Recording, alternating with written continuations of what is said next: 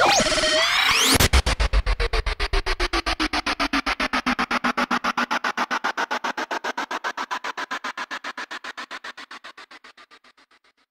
here's an update on the Nuvo 40. Everything is actually doing quite well. I've noticed that the mushrooms are loving it right now. Uh, I relocated a bunch of coral, put a bunch of stuff in its permanent positions. I have these two mushrooms here.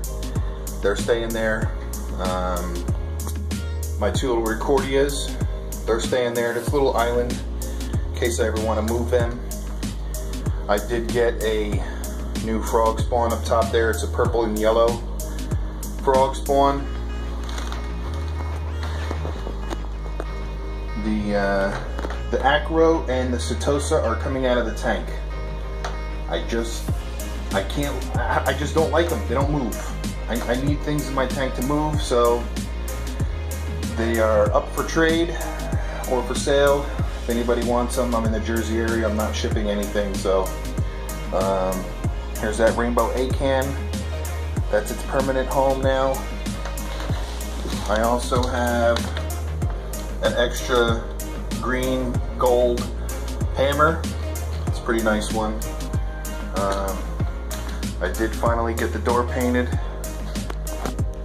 with the, uh, you know, the inside is still a little messy, but these have, this has the nice non-slamming door. Look at that, perfect. I love it now. Look at that shine, Behr Ultra. So, there's the tank. I'm actually gonna show you guys my view when I'm sitting on the couch. That's my view, not bad. TV, tank, dining room table. So that is it. I have a little video up here coming up on um, how my uh, little scooter Blenny's doing. He's actually a bottle fed fish. He eats right out of the turkey baster. And uh, I got another little clip of my cleaner shrimp. Uh, I would say half the day he's tackling the um, hawkfish and just picking at him, doing whatever he does. The hawkfish just goes up on his little ledge, the shrimp runs up on top of him, gets a little picking, and then he takes off.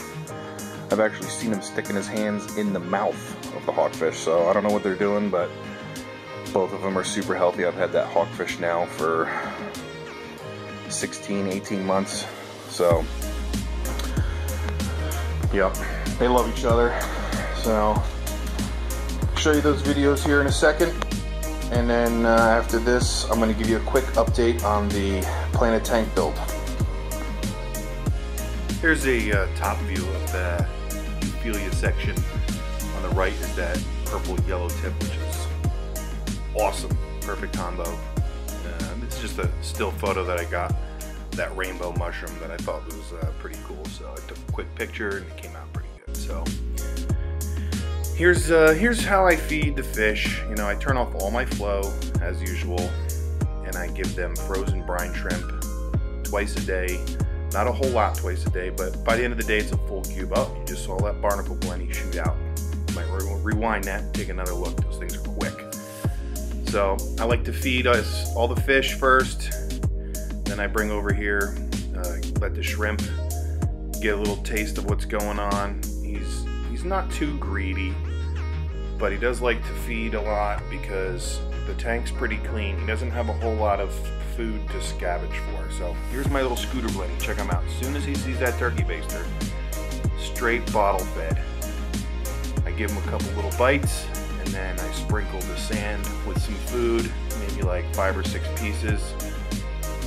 If the snails don't get it first, but you can see he eats uh, twice a day, doing very good. When I got him, he was kind of a little on the skinnier side than I'd like to see, but now he's juicy and fat and doing good. So, but yeah, sometimes he'll even just swim all the way to the top of the tank. He thinks he's an actual standard fish, but he sinks. So he just he hangs out and waits. But he's cool, just like this guy. He just waits for every little thing, and then On the left side over here is those uh, barnacle blennies. They usually wait for a fish to stop moving and they eye out, boom, there it goes. They, they, they, uh, they're pretty cool still. I have two of those. I like to call them the boomerang boys because they just go straight out straight back to right where they came from. Once in a while they'll miss their hole, it's funny, and they scramble to get back into to their spot. It's almost like they're aware of. There's another one there. Look, he ran to the top to get some more. So now here's my shrimp. He likes to get up in there. He takes about, man, 10 pieces, boards it up, and then goes to his little spot. Whatever's left, the hawkfish always gets. And then, like I was saying before, the, the shrimp and the hawkfish, they definitely have a symbiotic relationship because this is what they do all the time. They just hang out, he sits there, looks around, shrimp jumps on him, pecks at him a little bit, and then he takes off.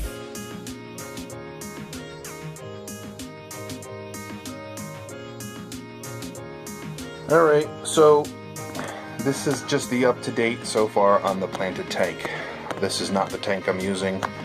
I'm just soaking a piece of driftwood in here. It's floating, so I had to weight it down with some rocks so it wouldn't float. But you guys can see the piece of wood. Um, I've actually been holding on to this piece of wood for just about three years. I got it from Tropiquarium uh, back in the day and I had originally bought it for a 20 long. So I ended up taking that spec 5 that they gave me and I told them you know I didn't really like the filtration design on it. I just didn't like it. So and it was only 5 gallon so I wanted to kind of make a nice scape. So I gave them that back and it gave me a bunch of other stuff which I'm gonna actually um, next week I should have that tank ready to go. So I want to show a complete setup of what they have given me um, per my request because I had a bunch of different ideas in mind so they actually fully sponsored my Planted tank. Um, so you're going to be seeing their little cue cards before every Planted tank video. Uh, I love the place.